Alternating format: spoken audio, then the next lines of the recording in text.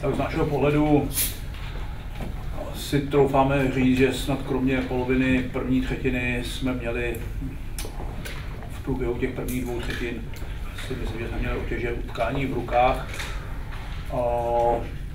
Bohužel to, co jsme pak předvedli ve třetí třetině, ztráty kotoučů jakoby v rizikových prostorech na útoční polovině, tak nás zápas, de facto i branka, inkasovaná branka v naší, v naší přesilové hře, tak byla taky ztráta na útoční modrý čáře kotouče.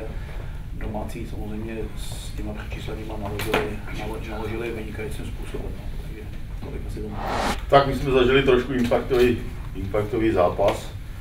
Eh, Samozřejmě musíme, musíme říct, že soupeř hrál velice dobře, měl rychlý přechod do útoku a, a v naší obraní třetí nám trošku dělal problémy.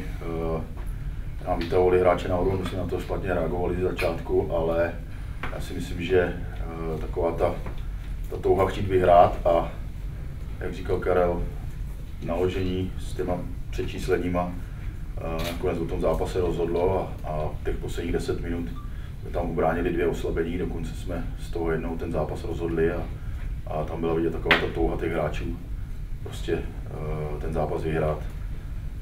A samozřejmě nás zase mrzí, že jsme přišli zase u dalšího hráče.